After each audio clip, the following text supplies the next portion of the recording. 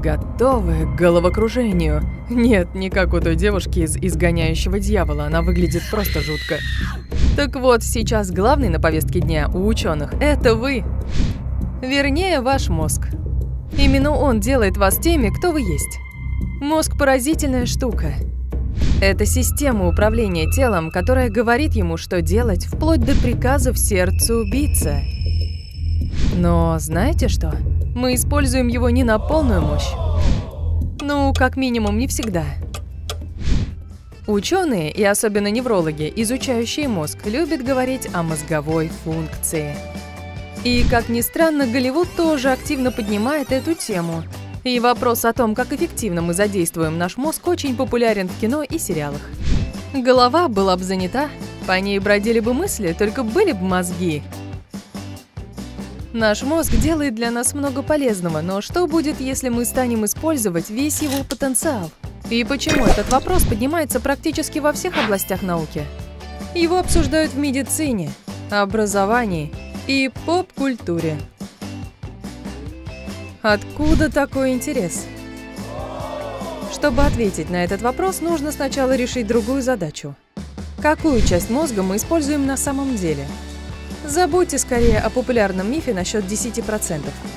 Его уже опровергли многие исследователи, в частности, невролог Барри Гордон в журнале Scientific American. Мифу о 10% уделялось слишком много внимания в фильмах и СМИ. И люди на самом деле поверили ему. А оказывается, большая часть мозга активна почти все время. Но не все его зоны работают на 100% одновременно. Это касается и времени сна. Мы ведь видим сны, правда? Даже они требуют высокой активности нейронов. А еще точный процент использования мозга зависит от самого человека. Так что рассчитать, сколько процентов мозга мы используем, нельзя, но вы в любом случае пользуетесь всеми его частями, просто не одновременно. Давайте посмотрим на основные области мозга и функции. Есть три главные зоны. Большой мозг, мозжечок и ствол мозга – Помимо физических функций, таких как ходьба, занятия спортом или моргание, представьте себе, да, наш мозг контролирует те функции, о которых мы даже не задумываемся. Сердцебиение, перегоняющая кровь, дыхание, наполняющее легкие и работа пищеварительной системы, позволяющую получать питательные вещества. Кроме того, благодаря мозгу у нас рождаются мысли, появляются эмоции и создаются воспоминания – а еще он хранит всю информацию, которую мы собираем при помощи пяти чувств. Зрение, обоняние, осязание, вкуса и слуха. Именно мозг позволяет нам запомнить вкус бабушкиного пирога. М-м-м. Высшие функции, то есть те, что затрагивают эмоции и обработку собранной чувствами информации, выполняются в большом мозге. Это крупнейшая часть головного мозга, в которую входят левое и правое полушарие. Она также отвечает за сложные движения. Благодаря ей вы можете танцевать балет, плавать или играть в баскетбол. Мозжечок управляет общей координацией. Он отвечает за то, что мы можем ходить, сидеть, стоять, держать осанку и равновесие. Он также контролирует речь, позволяя нам говорить друг с другом и понимать слова.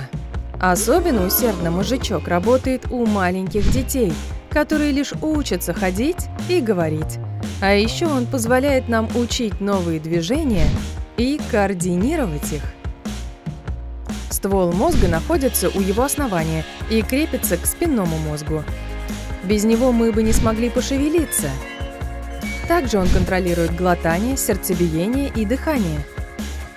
Именно ствол мозга говорит нам, что мы хотим спать или что пора просыпаться.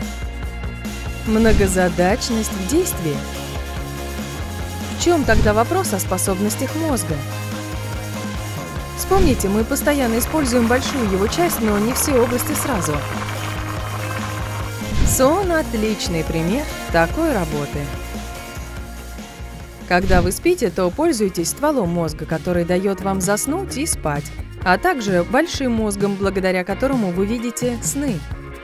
Мужичок при этом остается незадействованным, поскольку вы не говорите и не ходите во сне, если только вы не лунатик, но это уже совсем другой разговор. Но что, если бы мы использовали все функции мозга на 100% все время? Смогли бы мы передвигать предметы на расстоянии или слышать мысли других людей, как в кино? Жаль вас расстраивать, но нет. Во-первых, мы бы очень уставали. Для работы всех областей мозга одновременно потребовалась бы вся кровь в организме. В результате из-за нехватки кислорода тело перешло бы в режим выживания. Различные органы выходили бы из строя в порядке приоритетности.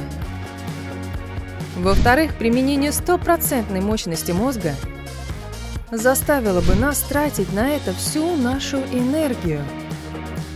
Проще говоря, мы бы постоянно хотели есть. Наши желудки не справлялись бы с нагрузкой, возлагаемой на них постоянным перевариванием пищи. Привет, вечно больной живот. Работающий на полную мощность мозг также означал бы, что наши нейроны постоянно работают.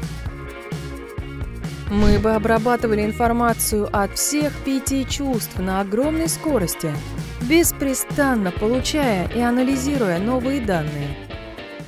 Выполнение всех этих задач одновременно несколько затруднило бы наше суждение. Мы эволюционировали ровно до того уровня, до которого следовало. Наше тело и мозг находятся в равновесии. Вот и ответ на вопрос. Если бы мы пользовались мозгом на 100%, он бы был слишком мощным для нашего тела. Задействовать все области мозга не актуально для нас ни физически, ни психически, ни даже в научных целях. Для этого просто нет эволюционной задачи. Простите, если я вас разочаровала. Но кто знает, что нас ждет в научном или эволюционном будущем? Ведь наши мозги и тело работают сообща, а значит, мы можем подтолкнуть их одновременно к развитию более высокого потенциала. Хотите улучшить тело? Начните заниматься спортом и правильно питаться. Хотите развить мозг? Решайте головоломки, больше читайте, играйте в судоку, напрягайте мозги. Есть те, кто считает, что человек не реализует весь свой потенциал, но они не правы. Будь это правдой, мы бы не добивались поразительных успехов в науке и технологиях. И прогресса в медицине у нас бы тоже не было. Просто способность мозга к обучению – это совсем другая история. Количество навыков, которые мы способны получить за свою жизнь, не ограничено объемом хранения информации в мозгу. Наша способность к обучению хоть и не безгранична, но больше зависит от концентрации внимания, времени, сна и пройденных возрастных этапов. А в моем случае от того, заезжают шарики за ролики все сразу или по одному. Но эту тему мы оставим на следующий раз. Когда дело касается мозга и тела, мы получаем то, что даем или теряем. Знаете ли вы другие мифы или интересные факты о человеческом мозге? Расскажите в комментариях. Если вы сегодня узнали что-то новое, поставьте этому видео лайк и поделитесь им с друзьями. Но не торопитесь уходить. У нас есть для вас более двух тысяч других видео. Просто выберите ролик слева или справа, нажмите на него и наслаждайтесь просмотром. Оставайтесь на яркой стороне жизни.